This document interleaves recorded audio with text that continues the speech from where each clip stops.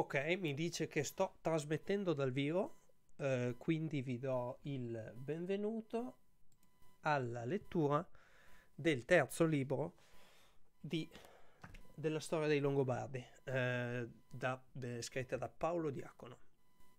Eh, innanzitutto, prima di cominciare, volevo eh, augurarvi delle buone feste, spero voi stiate passando delle feste piacevoli in questi giorni. Eh, io per quanto mi riguarda sono state piacevolissime, a parte il raffreddore di cui vi ho parlato che mi ha impedito di registrare eh, l'episodio che volevo far uscire per Natale. Eh, alla fine però era soltanto un raffreddore ed è passato, anche se potreste sentire la mia voce vagamente nasale. Eh, al scorso episodio abbiamo letto eh, che è stato registrato, non è andato in live e abbiamo letto fondamentalmente tutto in una volta il libro secondo. Libro molto interessante dove si entra praticamente nel vivo dell'azione con eh, un racconto delle gesta di quel re che passa per il nome di Alboino, vale a dire del re che ha portato i Longobardi in Italia. Ma eh, direi che eh, abbiamo parlato abbastanza di quello che è stato. Parliamo di quello che è adesso, eh, prima, che, eh, parlere, prima di parlare poi di quello che sarà nel futuro, nel senso che non mi resterà poi che augurarvi buon anno. Eh, ma prima, inizio del libro terzo. In seguito, un certo numero di duchi longobardi con un forte esercito entra nelle Gallie.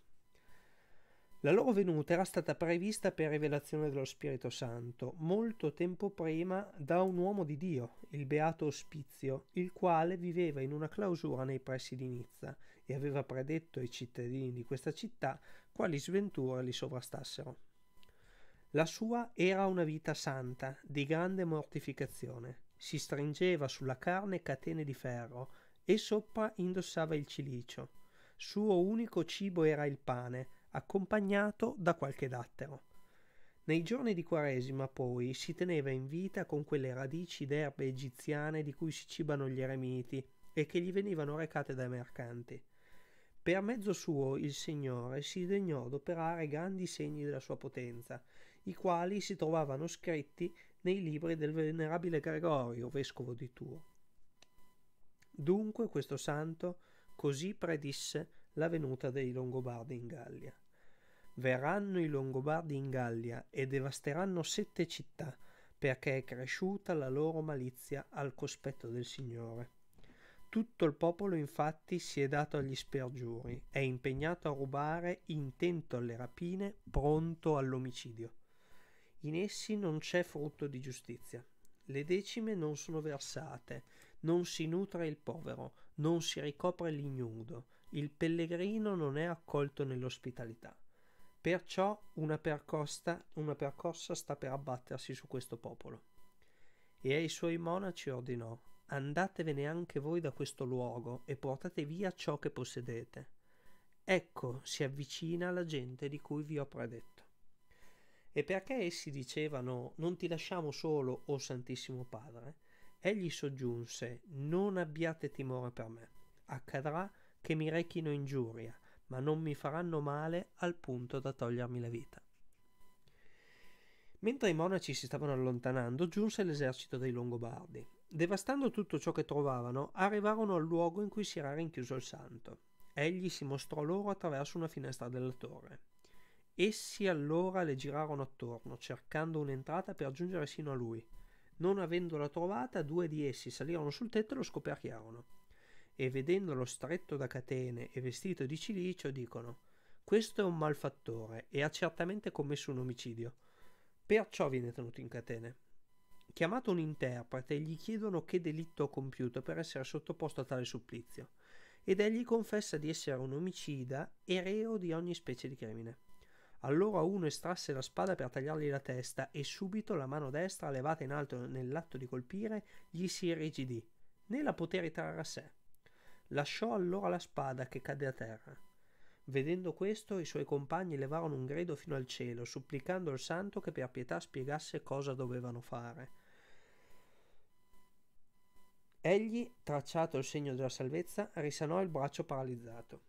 Il Longobardo risanato, convertitosi alla fede di Cristo, si fece subito chierico e quindi monaco, e rimase in quel luogo fino al termine della sua vita al servizio di Dio. E mentre il beato Ospizio esponeva ai Longobardi la parola del Signore, due duchi che l'avevano ascoltato con venerazione ritornavano incolumi in patria. Altri, che avevano disprezzato le sue parole, morirono miseramente lì in Provenza. Mentre i Longobardi devastavano le Gallie, Amato Patrizio della Provenza, che obbediva a Guntrammo, re dei Franchi, mosse l'esercito contro di loro e attaccata a battaglia si diede alla fuga e fu ucciso. I Longobardi fecero tanta strage dei Burgundi che non si può conoscere il numero degli uccisi. Arricchitisi di un inestimabile bottino, ritornano in Italia. Mentre questi si allontanavano, Eunio, detto anche Mummulo per nomina del re, si meritò l'onore del patriziato. Infatti, avendo i Longobardi fatto una seconda eruzione in Gallia ed essendosi spinti fino a Mu... Oddio, Mustia Scalmi, località vicino alla città di Embrun, Embrun, Mummulo fece muovere l'esercito e vi si diresse assieme ai Burgundi. Circondati con l'esercito nemici e sbarrati con travi i sentieri dei boschi, piombò su di essi e molti ne uccise, alcuni ne fece prigionieri e li inviò al suo re Guntramno. I Longobardi, conclusa così la spedizione, ritornarono in Italia. Dopo di ciò irrompono in Gallia i Sassoni, che erano venuti in Italia assieme ai Longobardi, e pongono l'accampamento nel territorio regense, cioè presso la città di Stablone, e fanno razzie nelle ville delle città di vicine, riportandone bottino, prendendo prigionieri e magari distruggendo ogni cosa. Quando Mummulo lo venne a sapere, irruppe su di essi con l'esercito, ne uccise molti e non cessò di uccidere finché non vi pose fine la notte. Li aveva infatti colti di sorpresa quando non sospettavano nulla di quello che poi accadde. Ma fattosi giorno, i sassoni riformano l'esercito, preparandosi coraggiosamente a riprendere il combattimento. Però Dopo uno scambio di messaggi, si accordarono per la pace e offerti i doni a Mumulo, abbandonati i prigionieri e il bottino, ritornano in Italia. Tornati in Italia, presi con sé le mogli e i figli e tutte le loro masserizie, decidono di nuovo di passare in Gallia, probabilmente per essere accolti da re Sigiberto e ritornare col suo aiuto alla terra dei loro padri. Certo è che questi sassoni erano venuti in Italia con le mogli e con i figli per abitarvi, ma a quanto è dato comprendere non vollero sottostare agli ordini dei Longobardi, né da questi fu loro concesso di restare nel loro diritto. Per questo si pensa siano ripartiti per la loro terra. Essi, al momento di rientrare in Gallia, formano due cunei e uno entrò attraverso Nizza, l'altro per Embrun, rifacendo la strada che avevano percorso l'anno prima. Poiché era il tempo del raccolto, si nutrivano mietendo e macinando il frumento e lo davano anche come pasto ai loro animali. Depredavano il bestiame né si astenevano dagli incendi. Quando furono al Rodano per entrare, guardandolo, nel regno di Sigiberto, Mumulo si fece davanti loro con una poderosa moltitudine. Vistolo, presi da grande timore, consegnarono per, loro, per loro riscatto molte monete d'oro e ottennero così il permesso di passare al Rodano. Mentre si dirigevano verso Sigiberto, lungo il viaggio ingannarono molti con cui ebbero commercio, poiché vendettero verghette di rame colorate, non so come, in modo da avere l'aspetto di oro saggiato e pesato. Onde parecchi, sedotti da questo inganno, dando oro e ricevendo rame, impoverirono. Arrivati finalmente da re Sigiberto, ebbero il permesso di ritornare nei luoghi da dove un tempo erano partiti. Giunti alla terra dei loro padri, la trovarono occupata dagli Svevi e da altri popoli, come sopra abbiamo raccontato. Mossero contro di loro cercando di cacciarli via e distruggerli, ma quelli offersero loro la terza parte della regione, dicendo Possiamo vivere insieme e abitare qui di comune accordo, senza combatterci. Non volendo i sassoni a nessun patto accordarsi, fu offerto loro la metà e infine i due terzi, riservando agli altri per sé solo una terza parte e rifiutarono ancora. Fu offerto loro insieme alla terra anche tutto il bestiame, purché rinunciassero a far guerra. Neanche a questo consentono. Vogliono la guerra e prima ancora di combattere decidono come spartirsi le donne degli svevi. Ma non toccò loro quel che pensavano. Infatti, attaccata battaglia, ne rimasero uccisi ventimila, mentre gli svevi ebbero solo 480 caduti e gli altri ottengono la vittoria. I 6.000 sassoni che erano scampati alla battaglia fecero voto di non tagliarsi più né barba né capelli, finché non si fossero vendicati dei loro nemici svevi. Aggrediti in una nuova battaglia furono duramente pestati e così calmarono i loro spiriti bellicosi. Dopo di ciò tre duchi longobardi, Amone, Zaban e Rodano, eruppero in Gallia. Amone prese la via di Embrun, si spinse fino al villaggio di Macao, che Mummulo aveva ricevuto quale ricompensa dal re, e lì piantò le tende. Zaban, attraverso la città di Die, giunse sino a Valenza. Rodano, invece, aggredì la città di Grenoble. Amone si impadronì anche della provincia di Arles, con le città che sono poste all'interno, e spingendosi fino a Campo Lapideo, che è vicino alla città di Marsiglia, saccheggiò tutto ciò che poté trovare. Mentre si preparava ad assediare Ai, Ai, AX, Ai, accettò in pagamento 22 libbre di argento e si allontanò. Anche Rodano e Zaban, nello stesso modo, con rapine e incendi, portavano distruzione dovunque passavano. Appena tali cose furono riferite al patrizio Mummulo, questi, muovendo con forze ingenti, dapprima attaccò Rodano, che assediava Grenoble, uccise molti del suo esercito e costrinse lui stesso, ferito da un colpo di lancia, a fuggire sulle cime dei monti. Rodano, con 500 uomini che gli erano rimasti, gettandosi per sentieri fuori mano tra i boschi, giunse da Zaban, che allora assediava Valenza, e gli raccontò quanto era avvenuto. Proseguirono assieme sino a Embrun, saccheggiando ogni cosa. Lì accorse contro di loro Mummolo, alla testa di uno sterminato esercito, e, attaccata a battaglia, li vinse. Allora Zaban e Rodano, cercando di tornare in Italia, arrivarono a Susa.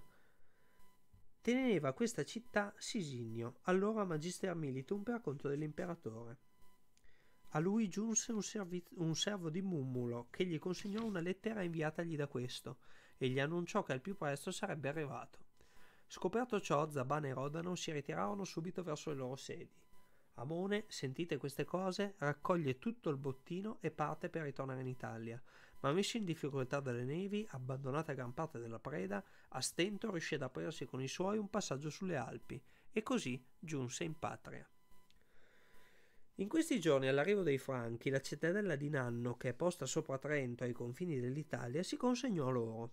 Per questa ragione il conte longobardo di Lagare, di nome Ragilone, marciò su Nanno e la saccheggiò.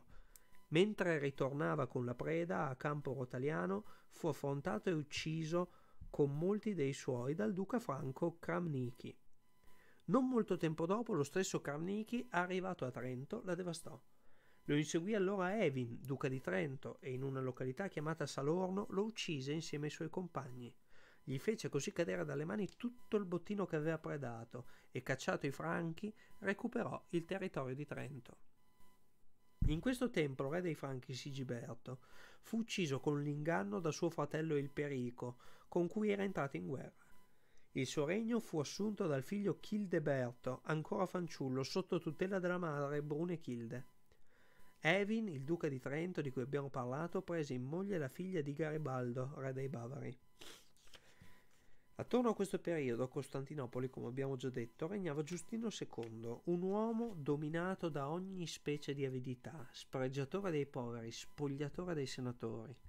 Tanta fu la rabbia per la sua copidicia che fece costruire dei forzieri di ferro nei quali ammucchiava i talenti d'oro che rapinava. Raccontano che sia caduto anche egli nell'erasia pelagiana. Egli, distogliendo l'orecchio dal cuore dei precetti divini, per giustizia per giusto giudizio di Dio, persa la luce della ragione divenne pazzo. Si associò al trono con titolo di Cesare perché governasse il suo palazzo o singole province Tiberio, uomo giusto, adatto al compito, coraggioso, sapiente, generoso nelle elemosini, elemosine, imparziale nei giudizi, insigne per le vittorie e, ciò che conta più di tutto, verissimo cristiano. Poiché egli distribuiva ai poveri molta parte dei suoi tesori che Giustino aveva accumulato, l'imperatrice Sofia sovente lo rimproverava di ridurre in povertà lo Stato, dicendo Ciò che io ho raccolto in molti anni, tu in poco tempo con la tua prodigalità lo dissipi. Ed egli, confido nel Signore, poiché non mancherà al nostro fisco il denaro sufficiente perché i poveri ricevano l'elemosina e i prigionieri siano riscattati. Questo significa infatti possedere un grande tesoro, poiché dice il Signore, accumulate per voi tesori in cielo, dove né la ruggine li corrompe, né la tignola, e dove i ladri non scassinano e non rubano. Dunque, con ciò che ci dona il Signore, raccogliamo tesori in cielo e il Signore si, de- si degnerà di accrescerli per noi sulla terra. Giustino quindi dopo undici anni di regno termina con la vita la pazzia nella quale era caduto. Quando poi ai tempi di Papa Benedetto, per le devastazioni che tutto attorno compivano i Longobardi, Roma fu alla fame per una carestia, la soccorse con lo zelo della sua misericordia, inviandovi per nave dall'Egitto molte migliaia di misure di frumento. Morto dunque Giustino, assunse l'impero Tiberio Costantino, cinquantesimo re dei Romani. Tenendo egli ancora sotto Giustino, quando era Cesare, il governo del palazzo, come sopra abbiamo detto, e facendo molte elemosine ogni giorno, il Signore gli fornì una grande quantità di oro. Mentre passeggiava per il palazzo, vide sul pavimento una lastra di marmo sulla quale era scolpita la croce del Signore, e disse: Con la croce del Signore noi dobbiamo munire la nostra fronte e il nostro petto. Ed ecco invece che la calpestiamo sotto i piedi. E detto ciò, fece subito levare la lastra. Staccatela da lì e messala dritta, ne trovano sotto un'altra che ha lo stesso segno. Ordina che sia rimossa anche questa. Asportatela ne trovano una terza e quando per suo ordine tolta anch'essa scoprono un grande tesoro di più di mille centenari d'oro. L'oro viene quindi prelevato e distribuito ai poveri con abbondanza ancora maggiore del solito. Anche il patrizio Narsete, che aveva un grande palazzo in una città italiana, giunse nella città di cui abbiamo detto con molti tesori, e lì, nel suo palazzo di nascosto, scavò una grande cisterna nella quale ripose molte migliaia di centenari d'oro e d'argento. Uccisi poi tutti quelli che lo sapevano, affidò il segreto a un solo vecchio da cui prese un giuramento. Morto Narsete, questo vecchio andò dall'imperatore Tiberio e gli disse: Se mi verrà qualche vantaggio, ti svelerò, o Cesare, una cosa di grande importanza. Ed egli, di pure ciò che vuoi, gioverà anche a te se mi racconterai cosa ci tornerà utile. Ho nascosto il tesoro di Narsete, disse, e non posso più tenerlo celato perché sono giunto al termine della mia vita. Allora Tiberio Cesare, rallegrandosi, manda fino a quel luogo i suoi servi. Il vecchio li guida, essi lo seguono attoniti. Giunti alla cisterna la scoperchiano e vi si calano. In essa si trovò tanto oro e argento che solo dopo molti giorni di lavoro di quelli che continuavano a portare via si riuscì a vuotarla. Secondo il suo costume, Tiberio distribuì quasi tutto con generose elargizioni ai poveri.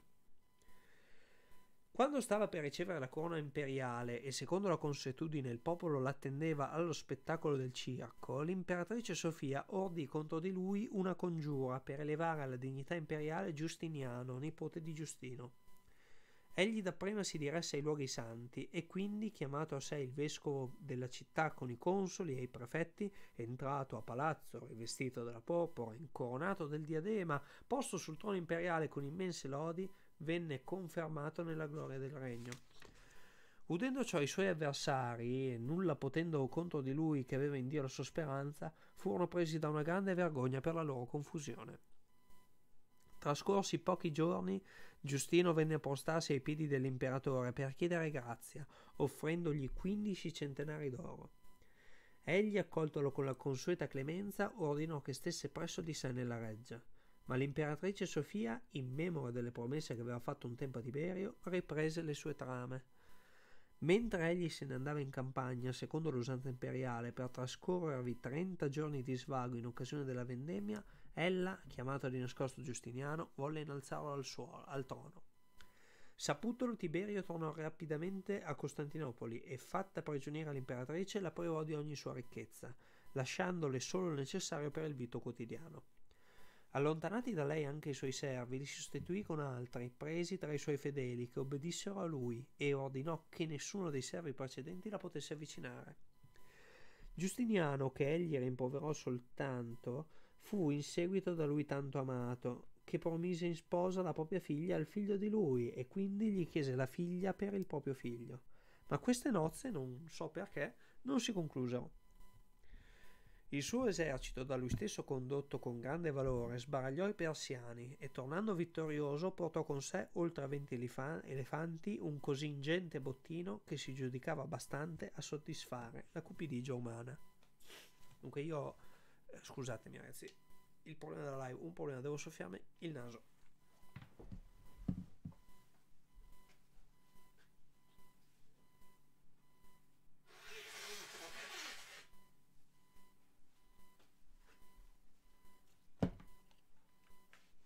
Spettacolare, eccomi qui. Riprendiamo subito. Il Perico, re dei Franchi, inviandogli i suoi ambasciatori, ne ricevette molti gioielli e monete d'oro da una libra ciascuna, che aveva da una parte l'effigie dell'imperatore e intorno la scritta di, Co- di Tiberio Costantino, perpetuo Augusto, e dall'altra una quadriga il conducente con la scritta Gloria dei Romani. Ai suoi tempi il beato Gregorio Diacono, che fu poi papa, Mentre si trovava nella città imperiale come legato pontificio, compose i libri morali e di fronte all'imperatore confutò Euticio, vescovo di quella città, che sosteneva tesi erronee sulla risurrezione.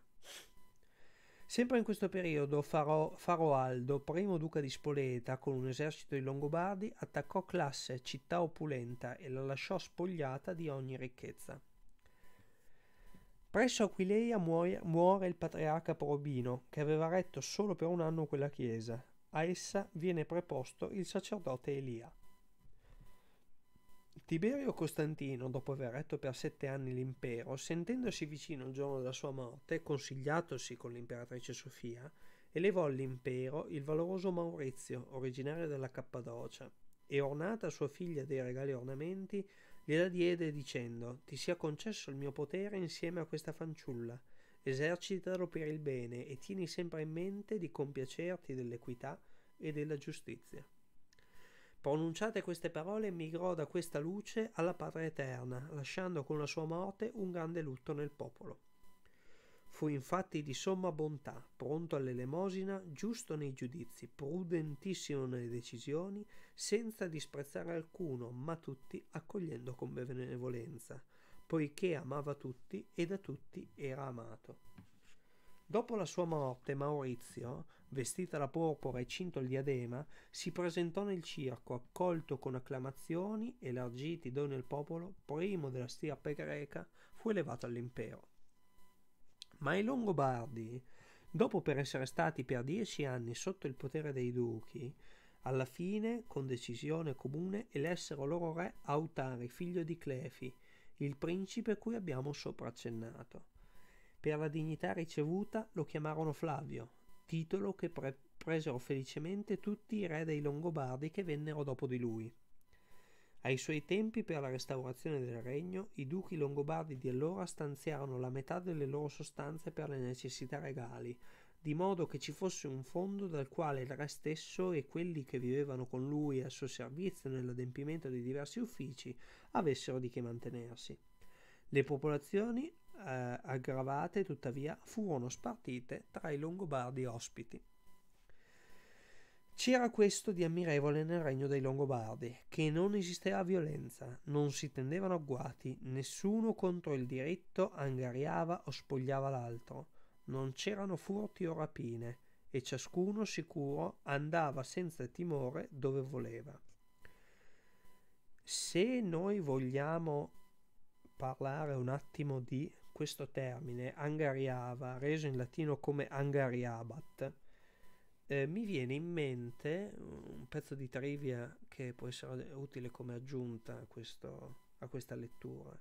Mi vengono in mente le, um, le cosiddette... Eh, eh, il lavoro obbligatorio nelle corti medievali, la cosa classica, le, le, le corvée, esatto, le corvée, perché se noi andiamo a vedere alcuni documenti che ci parlano della proprietà longobarda, che purtroppo non sono pochi, e tra i più famosi ci sono le, eh, le mm, pergamene di San Paolo eh, in Varsi, che è un posto appena sopra la mia valle, appena sopra la Valtaro.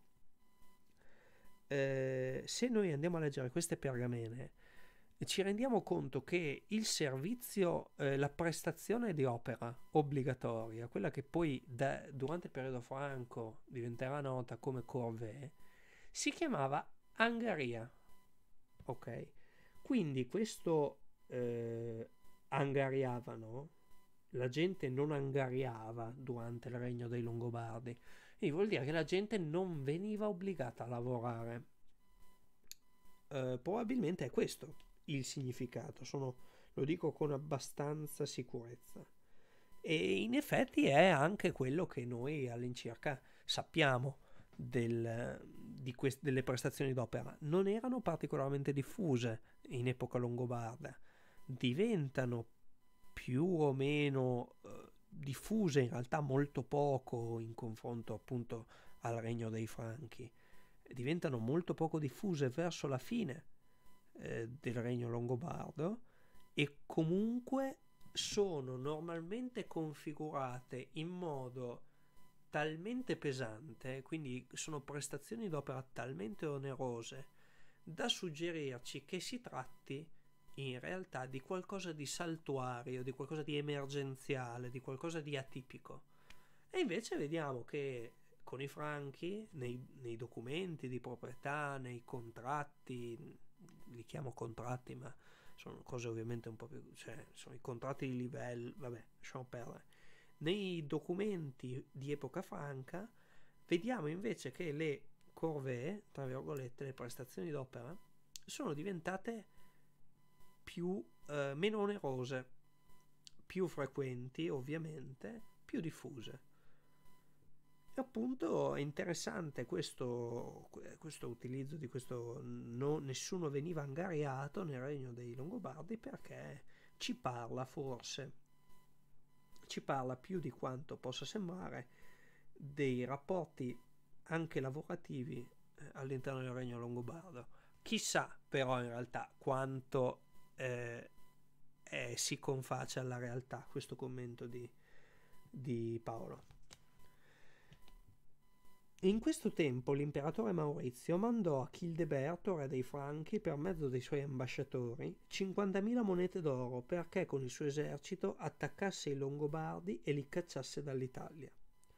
Childeberto, con una sterminata moltitudine di Franchi, irruppe d'improvviso in Italia, ma i Longobardi, fortificatisi nella loro città, inviandogli messaggeri e offrendogli doni, ottennero la pace. Mentre Childeberto tornava in Gallia, L'imperatore Maurizio, saputo che egli aveva stretto alleanza con i Longobardi, cominciò a pretendere la restituzione delle monete d'oro che egli aveva dato per recar loro danno. Ma quegli, confidando nella sua potenza militare, non volle neppure dargli risposta. Dopo questi fatti, il re Autari cominciò l'assedio di Brescello. il Brescello.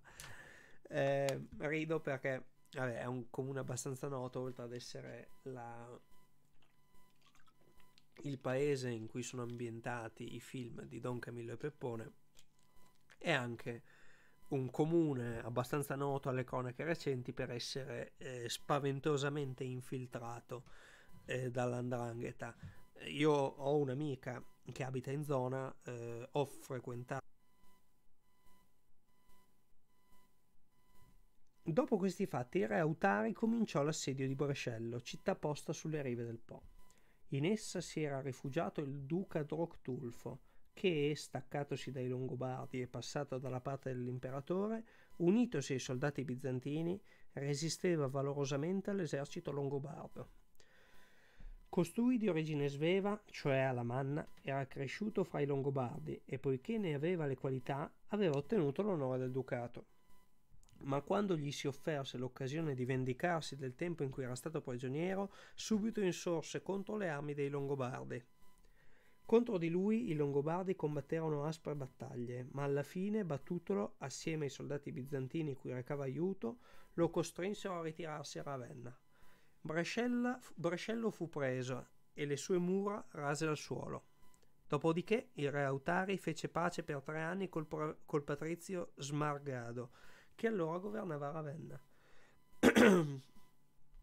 Guidati da questo Troctulfo di cui abbiamo parlato, i soldati di Ravenna si scontrarono spesso con i Longobardi. Col suo aiuto, costruita una flotta, cacciarono i Longobardi che occupavano la città di classe. A lui, quando fu giunto al termine della sua vita, eresse un onorevole sepolcro davanti alla soglia del beato Vitale Martire e con questo epitaffio ne celebrarono le lodi. È chiuso in questo sepolcro, ma solo col corpo, Drocton, poiché per i suoi meriti è vivo in tutto il mondo. Stava coi bardi, ma fu di stirpe sveva, e perciò era soave a entrambi i popoli. D'aspetto terribile a vedersi, ma benigno d'animo, di lunga barba sull'intrepido cuore. Poiché amava i pubblici segni di Roma, fu sterminatore della sua stessa gente. Trascurò i suoi cari genitori, mentre amò noi, ritenendo che questa fosse o Ravenna la sua patria. La sua prima gloria fu la presa di Brescello. Lì risiedendo fu terrore di tutti i nemici. Lì potente poté dare aiuto alle insegne romane e Cristo gli concesse di avere il primo vessillo. Mentre ancora Faroaldo occupava classe con la frode per liberarla, prepara le armi per le flotte. Con poche navi, combattendo nel fiume Badarino, lui vinse innumerevoli schiere di bardi. Di nuovo vinse l'avaro nelle terre orientali, conquistando per i suoi sovrani massimi vantaggi. Fidando nell'aiuto del martire vitale, a questi trionfi spesso giunse acclamato vincitore. Nel tempo di lui chiese che giacessero le sue ossa, ed è gradito a questi luoghi l'averle dopo la sua morte. Egli stesso morendo lo chiese al sacerdote Giovanni, per il cui pietoso amore ritornò in queste terre. Dopo Papa Benedetto fu ordinato pontefice della Chiesa romana Pelagio, senza approvazione del principe, poiché i Longobardi assediavano Roma e nessuno poteva uscire dalla città. Questo Papa mandò a Elia, vescovo di Aquileia, che non aveva voluto accettare i tre capitoli del Sinodo di Calcedonia, un'utile epistola che aveva composto il Beato Gregorio quando era ancora diacono. Frattanto Childeberto, re dei Franchi, portò guerra agli spagnoli e li batté sul campo. La causa della guerra fu questa. Childeberto aveva dato sua sorella Ingunde in sposa a Erminigildo, figlio di Devigildo, re degli spagnoli.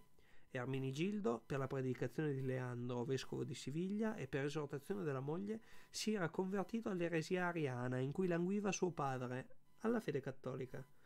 Eh, si era convertito, pardon, dall'eresia ariana in cui languiva suo padre alla fede cattolica. L'empio padre, proprio nel sacro giorno di Pasqua, l'aveva ucciso colpendolo con un colpo di scure. Ingunde sapù, eh, dopo la morte del marito e martire, fuggendo dalla Spagna, mentre cercava di ritornare in Gallia, cadde in mano a dei soldati che stavano sul confine di fronte ai Goti di Spagna. Catturata insieme al figlioletto e condotta in Sicilia, concluse laggiù l'estremo giorno. Suo figlio invece fu mandato a Costantinopoli dall'imperatore Maurizio.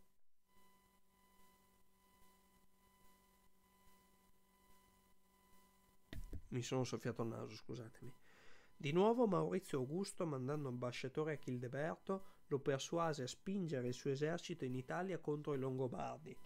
Childeberto, credendo che sua sorella fosse ancora viva e si trovasse a Costantinopoli, per poterla riavere, acconsentì alle proposte di Maurizio e di nuovo guidò in Italia contro i Longobardi l'esercito dei Franchi. Mentre le schiere dei Longobardi si affrettavano verso di loro, i Franchi e gli Alamanni, per discordie intervenute tra di loro, senza aver ottenuto nessun vantaggio, ritornarono in patria. A quel tempo ci fu un diluvio nei territori della Venezia, della Liguria e di altre regioni d'Italia, quale non si crede ci sia più stato dal tempo di Noè. Terreni e fattorie diventarono laghi e ci fu grande strage sia di uomini che di animali.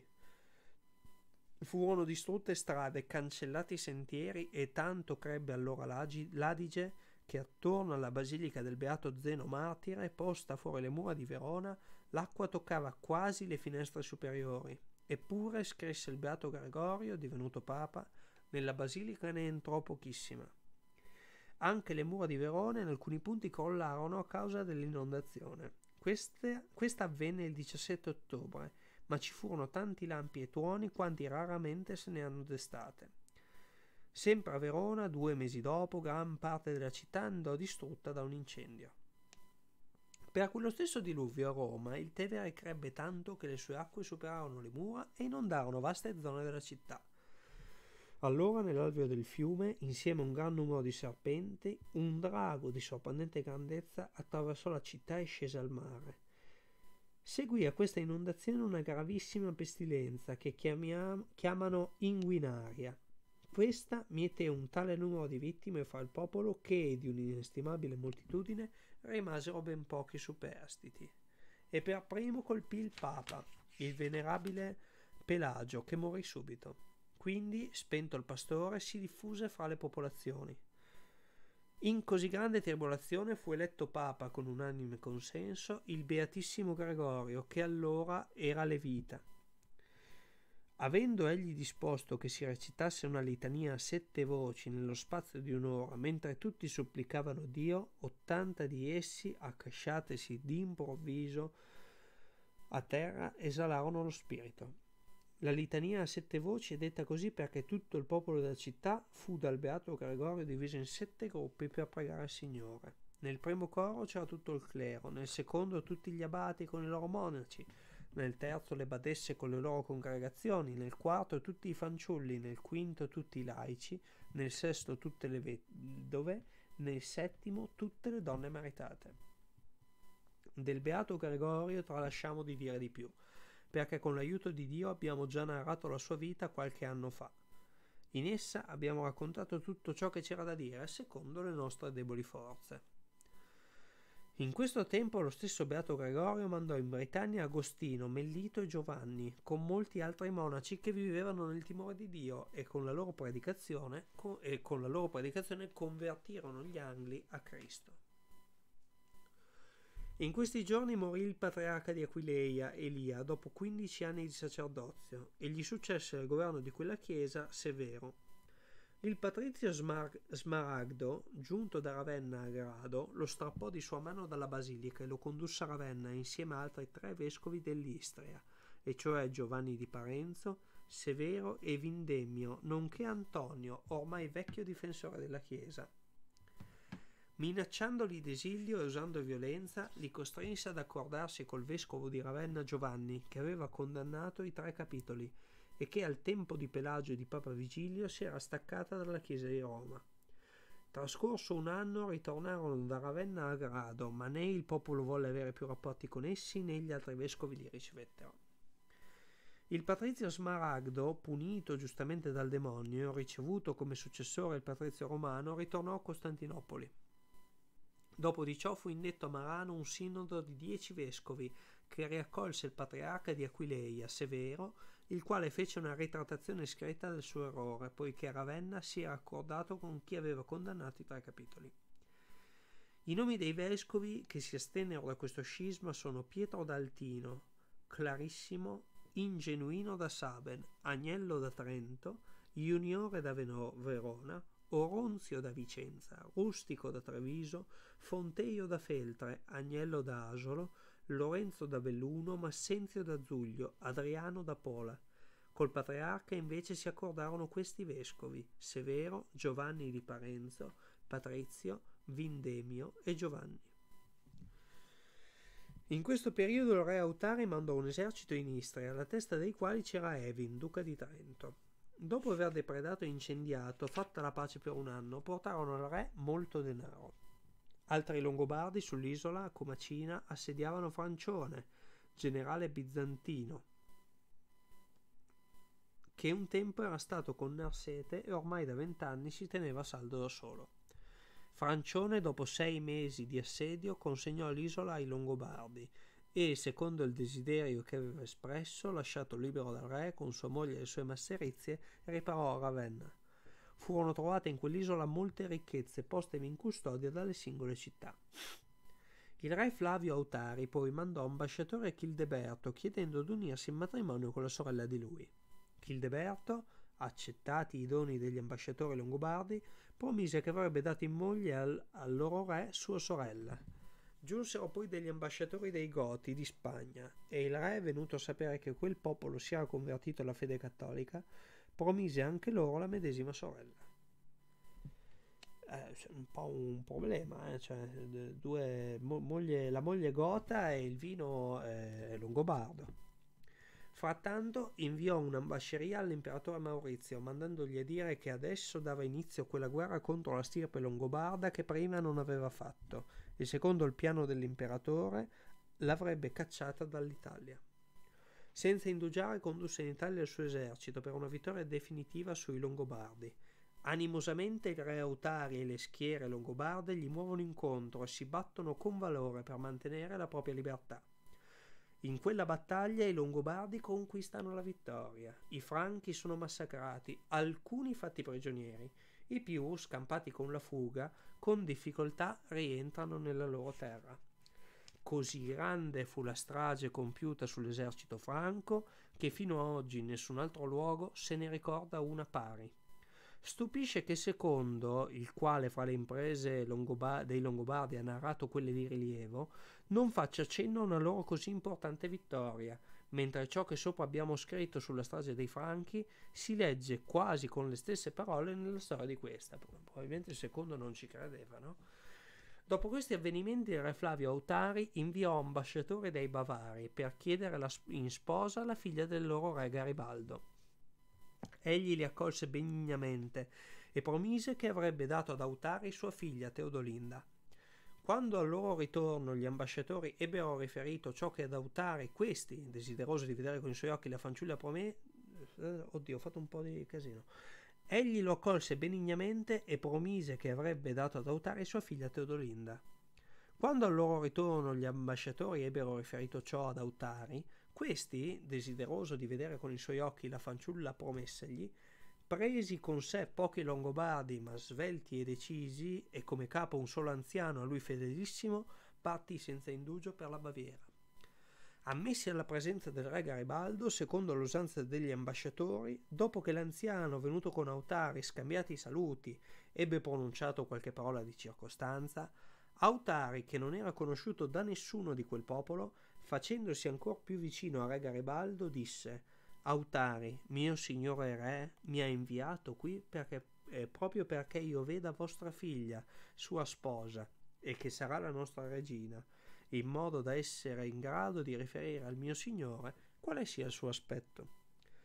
Udendo ciò il re fece venire la figlia, e Autari, osservatala con segreto compiacimento, di delicata bellezza quale lei era e assai piacendogli in tutto, disse al re Poiché vediamo che l'aspetto di vostra figlia è tale che a ben ragione possiamo desiderarla come nostra regina, se piace alla vostra potestà, avremo gran desiderio di ricevere dalla sua mano una tazza di vino, come in avvenire dovrà fare per noi. Il re consentì che ciò fosse fatto Ella, presa una tazza, la offerse prima a, che, a quello che appareva più anziano, poi la porse ad Autari, senza sapere che era il suo sposo, ed egli, dopo aver bevuto, nel renderle la tazza, le toccò col dito la mano senza che nessuno se ne accorgesse, e poi passò la mano dalla fronte sul naso e sul volto. Cringe. Soffusa di rossore, ella raccontò questo alla sua nutrice. E immagino, poveretta, sarà un po' sconvolta da questa cosa. E la nutrice, se costui non fosse il re, il tuo sposo, le disse, non avrebbe osato toccarti. Ma stiamo zitte per il momento, che non lo sappia tuo padre. Di sicuro è persona degna di avere un regno e di unirsi a te in matrimonio. E davvero Autari era a quel tempo fiorente d'età, giovanile, di figura ben proporzionata, da, coperto d'una chioma lucente, bellissimo nell'aspetto. Subito, subito dopo essi, ottenuto dal re commiato, riprendono il cammino per tornare nella loro terra e rapidamente si allontanano dal territorio del Norico. La provincia del, Tor- del Norico, sì, ora che abbiamo fatto un po' di pettegolezzi, si passa al trattato di geografia finale eh, degli ultimi quattro paragrafi, sì, la provincia del Norico, che il popolo dei Bavari abita a oriente, ha la Pannonia a occidente. Eh, scusate, allora, la provincia del Norico, che il popolo dei Bavari abita, ha a oriente la Pannonia, a occidente la Svevia, a mezzogiorno l'Italia, dalla parte di Aquilone le correnti del Danubio. Dunque, quando Autari giunse ormai presso i confini d'Italia e aveva ancora con sé i bavari che lo scortavano, si rizzò quanto poté sul cavallo sul quale andava davanti a tutti e con tutta la sua forza piantò la piccola scura che teneva in mano su un albero che era vicino e ve la lasciò in fissa, unendo al gesto queste parole. Tale colpo suol fare Autari. Da queste parole i bavari che lo accompagnavano compresero che egli era il re Autari. Eh beh, sì, anch'io capirei questa cosa. Tempo dopo, essendo il re Garibaldo preoccupato per l'arrivo dei Franchi, Teodolinda, sua figlia, si rifugiò in Italia con un suo fratello di nome Gundo Aldo e annunciò la sua venuta al suo sposo Autari.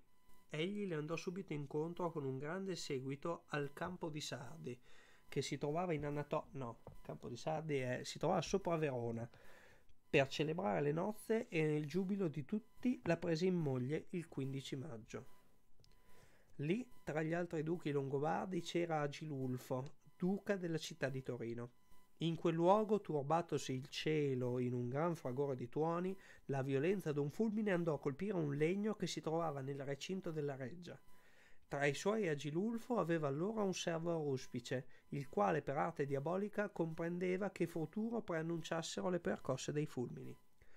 Questi in segreto, quando Agilulfo s'appartò per i suoi bisogni naturali, gli disse questa donna, che poco fa è andata sposa al nostro re, fra non molto tempo sarà tua moglie. Udendo ciò, quegli minacciò di tagliargli il capo, se avesse aggiunto un'altra parola sull'argomento, e il servo, io posso anche essere ucciso, ma il destino non si può mutare. Questa donna, infatti, è venuta in questa terra proprio perché deve unirsi in matrimonio con te. E la cosa in seguito andò proprio così. In questo periodo, non si sa per quale ragione, Ansul, parente del re Autari, fu ucciso presso Verona. Sempre in questo tempo Grippo, ambasciatore di Childeberto, re dei Franchi, di ritorno da Costantinopoli, annunciò al suo re con quali grandi onori fosse stato accolto dall'imperatore Maurizio e come l'imperatore aveva promesso di vendicare le offese che aveva ricevuto a Cartagine, secondo il volere di Childeberto. Subito questi, con venti duchi franchi, guidò di nuovo l'esercito in Italia per debellare la stirpe longobarda. Fra questi duchi i più eminenti erano Audoaldo, Olone e Cedino. Ma essendosi Olone avvicinato poco prudentemente al castello di Bellinzona, colpito da un dardo sotto la mammella, cadde e morì. Gli altri franchi, usciti per razziare mentre erano sparsi qua e là, venivano abbattuti dai longobardi che concentravano i loro attacchi in un singolo settore. Intanto Audoaldo e sei altri duchi franchi, giunti nei pressi di Milano, posero l'accampamento lontano dalla città, in luoghi campestri. Li raggiunsero gli, amba- gli ambasciatori dell'imperatore per annunciare che stava arrivando un esercito in loro aiuto, dicendo fra tre giorni ritorneremo con i soldati. Questo sarà il segnale per voi. Quando vedrete ardere le case di quel villaggio che è posto sul monte e il fumo dell'incendio salire fino al cielo, sapete che no, saprete che noi stiamo arrivando con l'esercito che vi promettiamo.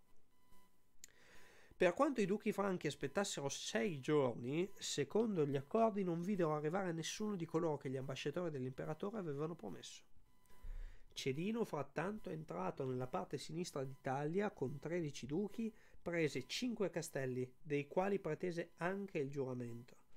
L'esercito dei Franchi si spinse, si spinse, fino a Verona e molti castelli che si erano consegnati loro dopo essersi scambiati i giuramenti di pace senza sospettare alcun inganno furono ugualmente abbattuti. I nomi dei castelli che distrussero in territorio tridentino sono Tesana, Maleto, Sermiana, Appiano, Fagitana, Cimbra, Cimbra Viziano, Brentonico, Volene, Ennemase, due in Valsugana e uno nel Veronese. Vabbè, non ce li hai i nomi di questi qui, va bene, ok. Dopo che tutti questi castelli furono rasi al suolo dai Franchi, tutti i loro abitanti furono condotti prigionieri. Il castello di Ferruge, per intercessione di Ingenuino, vescovo di Saben, e Agnello, vescovo di Trento, ottenne di pagare riscatto di una moneta d'oro per ogni uomo, sino a 600 monete d'oro. Frattanto l'esercito dei Franchi, poiché era estate, per il disagio in un clima a cui non erano abituati, cominciò a essere afflitto da una grave dissenteria e, a causa del morbo, perirono molti di loro. Che più? Esso vagò tre mesi per l'Italia, senza profitto alcuno e senza potersi vendicare dai nemici, tanto dato che questi si erano arroccati nei luoghi meglio difesi, e senza aver potuto raggiungere il re, contro il quale si rivolgeva la vendetta che for- eh, e che si era fortificato dentro la città di Pavia, come abbiamo già detto. Come già abbiamo detto. Infine, mal ridotto per l'inclemenza del clima e aggredito dalla fame, decise di fare ritorno alle proprie terre.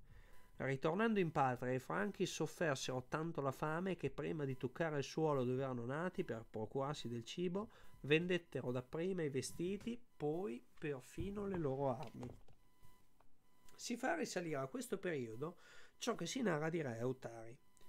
È fama che attraverso Spoleto questo re sia giunto a Benevento, si sia impadronito di quella regione spingendosi fino a Reggio, ultima città d'Italia di fronte alla Sicilia.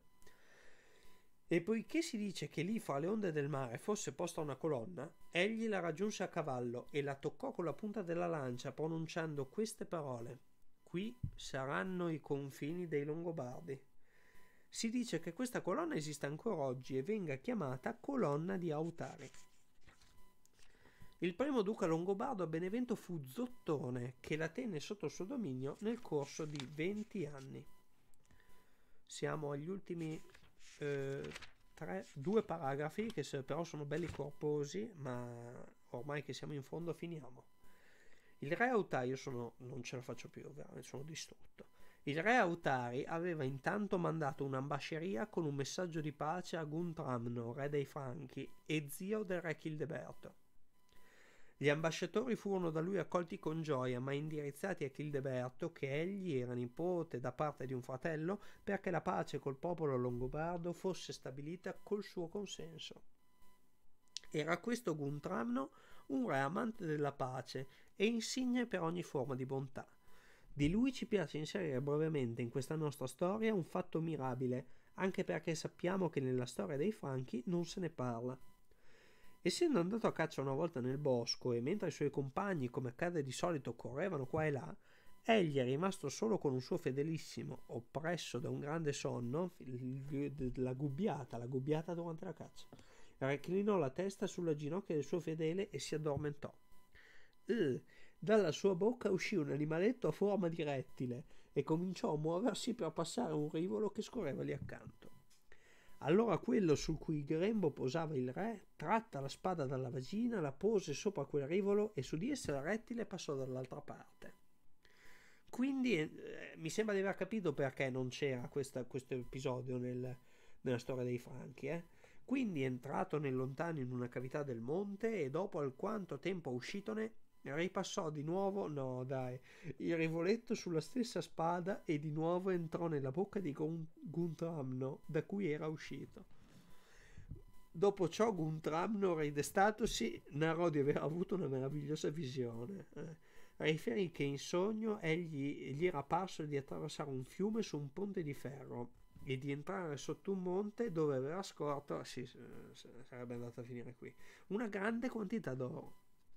A sua volta quelli su cui Grembo aveva tenuto il capo eh, mentre dormiva gli raccontò con ordine ciò che aveva visto uscire da lui. Che più? Quel luogo fu scavato e si trovarono inestimabili tesori che erano stati lì riportati dai tempi antichissimi.